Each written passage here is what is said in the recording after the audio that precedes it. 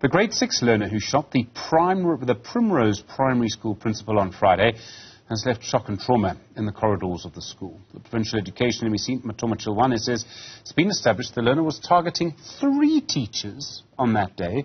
Chiloane and other government officials visited the school to discuss how to beef up security there. Nqobile Madlala has more. Primrose Primary School in Germiston was not even counted amongst the hotspots for crime until Friday when a grade 6 learner shot and wounded the principal. It's not normal. According to the Education MEC Matome Chiloane, three staff members at the school were in the line of fire. The people who were targeted the class teacher, the deputy principal, and the principal, according to the child. That these are the three people who are giving, giving him problems in school because they're notifying the parents. The school was already concerned about the 13 year old before the incident they've had meetings before. They had meetings in uh, uh, last month with the parents uh, of the child to say, but the child homework they are falling behind with schoolwork. The child is not performing. You know, the child. These are the challenges. So apparently, the child gets home, the parent punishes them. I don't, I, I don't have specifics of what kind of punishment but you can assume perhaps maybe there's a bit of abuse that's taking place. The psychosocial support has been provided. Many are still shaken.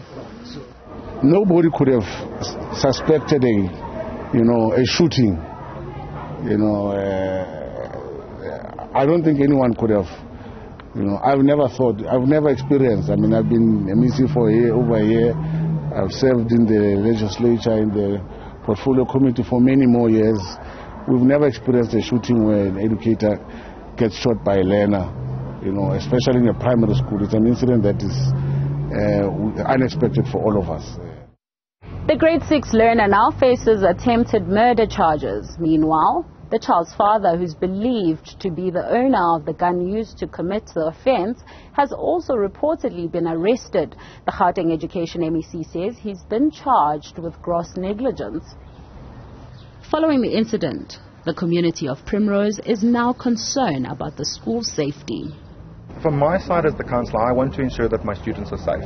So I want to know that when you enter these premises, that no one is carrying weapons, be it a child, be it an adult, or even be it an educator, that it is safe when you enter here. We are shocked, but what we're also uh, predominantly concerned about is that this is the fifth tragic, uh, tragic incident that has taken place in 2024.